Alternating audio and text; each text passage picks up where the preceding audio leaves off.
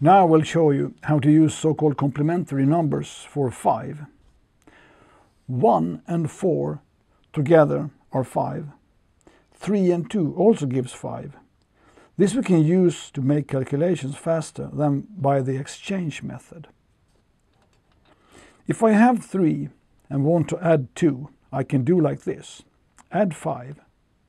This is how much you added, but you, you uh, wanted to add 2, so you have added 3 too much. I take that away. The answer is 5. Now we do the same with 1 plus 4. Put in 1, you want to add 4, but instead you add 5. Now you have added 1 too many. Take it away. This gives 5. This is 3 plus 2. When you hear plus 2, you should react by thinking sink a 5 bead and take away the complementary number. So if you hear plus, think minus. If you hear minus, you think plus.